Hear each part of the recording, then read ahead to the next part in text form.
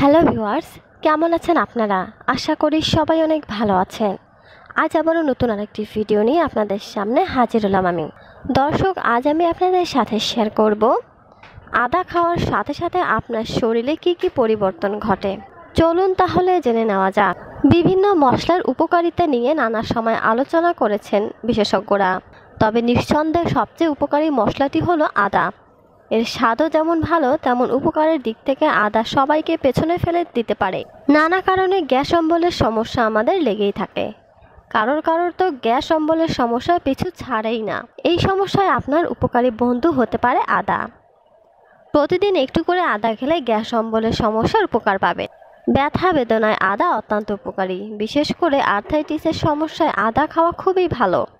শরীরে কোথাও আঘাত লাগলেও আদা তা তাড়াতাড়ি সারিয়ে দিতে পারে। ক্যান্সার প্রতিরোধেও আদার উপকারী প্রমাণী শরীরে ক্যান্সার সেলগুলোকে নিষ্ক্রিয় করতে সাহায্য করে আদা।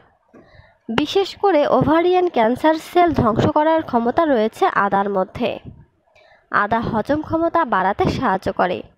রোজ একটু করে আদা খেলে কিছুদিনের মধ্যেই আপনার হজম ক্ষমতা অনেক উন্নতি হয়ে যাবে।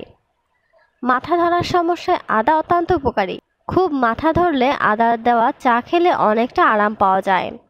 কোনো পার্শ্ব প্রতিক্রিয়া ছাড়াই আপনাকে আরাম দেবে আদা।